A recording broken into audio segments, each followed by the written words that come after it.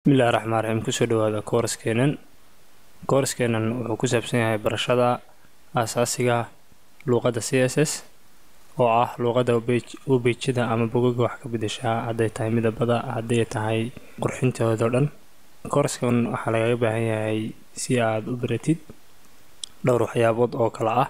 Inaad taqaanid basic computer inaad taqaanid luuqadda ka horeysa c s s ee h table oo ah aasaasiga bogoga oo dhan. Haddii aad h t m l aqoon fadlan waxaa ka booqan kartaa website-kayga waxaa ku jira kooras basic ah oo h t m l ah. Kooraskaasaa soo dulmareysaa oo soo baranaysaa marka hore.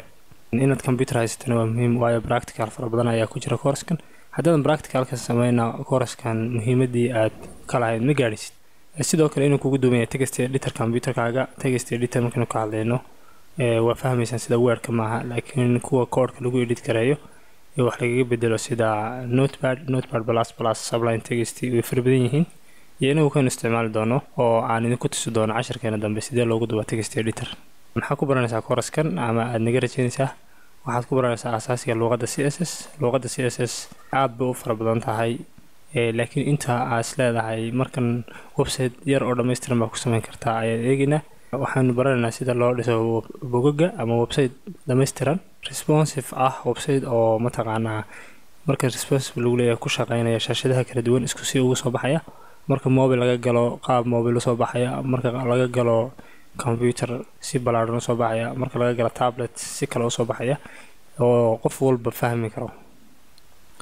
Waxaa kaloo ku baran doonaa waxyaabaha aad uga baahan tahay inaad ku ogaatid web development maadaama doonaysa inaad web developer noqotid waxaa jira tools fara badan aa u baahan tahay oo aad isticmaalaysid. Marka waxyaabahaas oo dhan ayaynu ku eegeynaa insha allah kooraskan haddaynu dhammayno qeybtiisa kale waxaynu ka dhigi doonaa isagoo backend leh oo aynu ku xidhino luuqadaha serfaserka sida ama a s b p h p oo markaa aynu ka dhigano website dhinac walba ka dhammaystiran frontend iyo backend laakiin kooraskan wuxuu muhiimadiisu tahay frontend oo ah qofka userka intuu arka aniga kooraskan idinla socodsiinaya magacaygu waa cabdifataax cabdilaahi waxaan in badan ku soo dhex jiray web development bogag fara badan iyo webs ayaan sameeyey.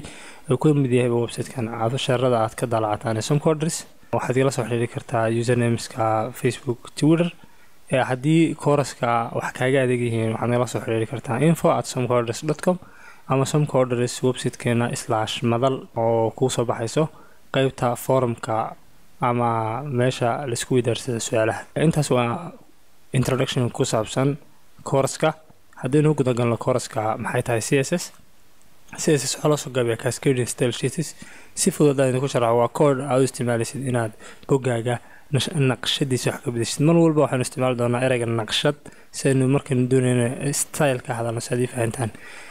Nashqaduna wax kale ma aha waxa weeye inaad boga h t m waa skeleton systemkii laakiin c s s ku waa qurxintii oo qaabeyshinkii oo dhan weeye. Haddii ay tahay midabka farta backgroundska ka dambeeya bageka waxyaabahaas oo dhan. Haddaad su'aalo dhowra ayaa isweydiinaysaa markay c s kugu soo dhacayso c s marka waxay kaaga jawaabaysaa su'aalahagan oo ay ka mid yihiin sidee qoraalka websiteygu u yeeshay midabo kala duwan sidee websiteygu uga soo kala baxayaa shaashado kala duwan oo aynu ka hadlayno responsive web design iyo sidee u dhisi karaa bog haddii aan aqaano h t m l. Dad badan baa waxay isku khaldayaan h t m l website dhamaystir ma ku dhisi karaa c s s su'aalo noocaas oo kale isweydiinayaan haddii aad aqoon hore u lahayd c s s tan waxay ku noqon doontaa mid oo practical ah oo aqoontaadii kor u sii qaadaysa. Haddii aadan hore u aqoon oo h t m l kaliya taqaanina aad bay labaduba ku anfacayaan. Intaas aynu introduction kaga baxaynaa. Wabilaahi towfiiq